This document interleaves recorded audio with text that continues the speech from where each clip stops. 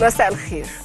الموازنة العامة موضوع مهم لكل مواطن مصري يعني مش هو موضوع يعني يخص أهل الاقتصاد والسياسة والحكومة وبس. ببساطة شديدة جدا أنت كده لما بتقعد مع عيلتك تشوفوا هتعملوا إيه مثلا على دخلة الصيف ولا مثلا بداية السنة ولا في بداية حياتك الزوجية. هتروحوا مصيف ولا لأ؟ آه إيه مستوى التعليم بتاع ولادكم؟ مدارس خاصة ولا مدارس حكومة؟ ولا مدرسة نموذجية ولا مدرسة انترناشونال هتصرفوا على الأكل كام؟ الأكل والشرب وهكذا. في الأول هتحسبوا دخل الأسرة كام. إيه المطلوب عشان تعملوا كل الحاجات اللي أنتم نفسكم تعملوها؟ سواء كانت الحاجات دي مثلا حاجات أساسية أو يمكن من باب الرفاهية. كلها على بعضها الحاجات دي هتعمل كام؟ طبعا بيبقى شيء جميل جدا لو دخل الأسرة أكتر أو بيساوي المصاريف المتوقعة. فده كده معناه إنه العيلة هتدخر من اللي هيفيد من دخلها ويبقى عندها فلوس تحطها. تحطها بقى تحت البلاطة تحطها في البنك تشغلها في مصنع آه، تفتح مشروع يزود الدخل زي ما هي عايزة أو يحصل العكس وتبقى المصاريف أكتر من الدخل. ساعتها هيبقى قدامك تعمل أكتر من حاجة إما إنك تقلل مصاريفك وتشيل حاجات كنت حاططها في خطتك وكان نفسك فيها أو إنك تدور على شغل جديد أو أي دخل جديد تزود بيه فلوسك أو تستلف من حد قريب منك لحد ما تعدي المصاريف اللي دخلت عليك. واحيانا بتعمل كل خططك وتبقى كله تمام وكله زي الفل وبعدين يجي فجأة كده حد من عيالك لا سمح الله يتعب أو أي حد من العيلة يحتاج أي حاجة طارئة. فساعتها لازم تبقى عامل حساب المفاجآت. حاطط كده مبلغ احتياطي على جنب آه عشان آه المفاجآت. لأنه هتبقى أنت كده ملصم كل حاجة في حياتك. فلو آه، مش حاطط ال- المبلغ ده بتاع الطوارئ حياتك هتتدربك وتتلخبط. نفس الحكاية نفس الموضوع بالظبط بيحصل في موضوع موازنة الدولة. وزارة المالية بتجمع إيرادات الدولة المتوقعة وبتحط قصادها النفقات المتوقعة وتعمل بقى حساباتها واحتياطاتها وتطلع الموازنة العامة للدولة. ولأن الموازنة هي في الأساس بتخص المواطن والحكومة ووظيفتها إنها آه، يعني ال- الحكومة دي تديرها بأفضل طريقة ممكنة فهي لازم تاخد موافقة الشعب. طبعا الحكومة مش بتعدي على الشعب فرد فرد تعرض عليه هي هتدير دخل الدولة إزاي وتصرفه في إيه وهتجيبه منين ولو العجز حصل في عجز يعني لا سمح الله هتجيبه منين وهتستثمر إزاي الفائض لو حتى في فائض؟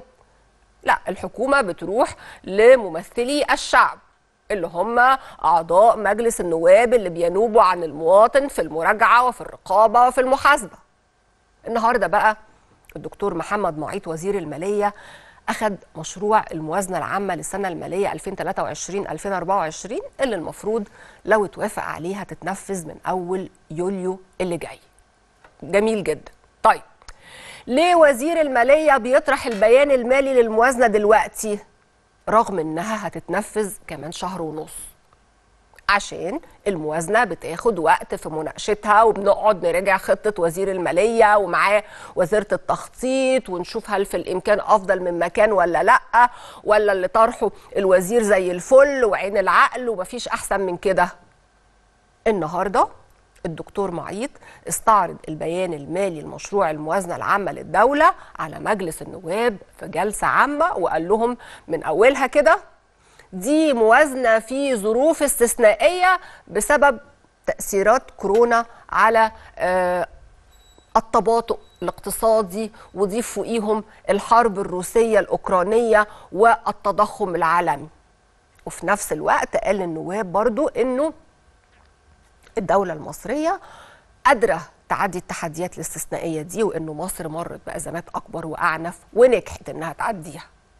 هو الوزير النهاردة قال حاجات كتيرة الحقيقة بصراحة يعني غاية في الأهمية زي مثلا إنه قيمة المصروفات العامة هتوصل لحوالي 3 تريليون جنيه وإن الإيرادات ممكن تسجل 2.1 من عشرة تريليون جنيه ورغم كده هو طمن المصريين على أداء الاقتصاد رغم الأزمات.